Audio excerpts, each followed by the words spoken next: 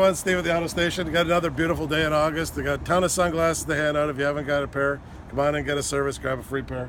What I want to talk about today is air filter. Take a look at this. This is the one we're taking out, and here's the one we're putting in. You can see the difference. This one here will have a lot more airflow, better gas mileage. The car will just perform way better. You want to have a look at your air filter, come on in, we can do it for you, or we'll show you how to do it yourself. Come on in and see us, Steve at the Auto Station.